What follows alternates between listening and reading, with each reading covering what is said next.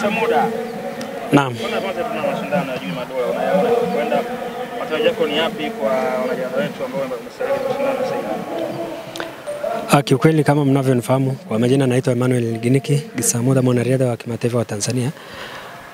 Uh, kwa upande wetu kwa madola, kiukweli nashukuru Mungu mpaka sasa hivi maombi yetu imesikika na bado tunaendelea, tuko, tuko vizuri mpaka sasa hivi, kwa sababu mpaka sasa hivi tumeshapata medali ya Simbu na pia wale wabondia wetu wawili mpaka sasa wako kwenye nafasi pia ya medali. Kwa hiyo tuzidi kuwaombea Mungu, kila kitu inaenda vizuri mpaka sasa hivi. Kwa hiyo sasa hivi mpaka sasa hivi Tanzania tuna cha kuzungumzia kiukweli.